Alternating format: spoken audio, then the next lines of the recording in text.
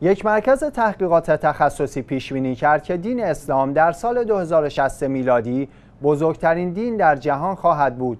مرکز تحقیقات تخصصی پیو در گزارشی پیش بینی کرد که جمعیت مسلمانان در نیمه دوم قرن 21 از جمعیت مسیحیان فراتر خواهد رفت. یعنی در سال 2060 میلادی بیشترین جمعیت در جهان را مسلمانان خواهند داشت. این مرکز تحقیقاتی اعلام کرد تعداد مسلمانان سراسر جهان از یک میلیارد 800 میلیون نفر در سال 2015 میلادی به 3 میلیارد نفر در سال 2060 میلادی خواهد رسید.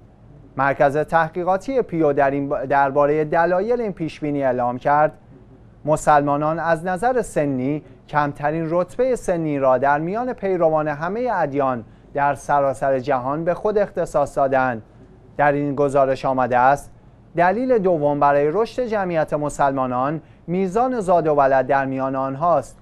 بر اساس این تحقیق دلیل سوم به محل سکونت مسلمانان برمیگردد. آنها در مناطقی زندگی می کنند که در سالهای آتی سریعترین رشد را خواهد داشت.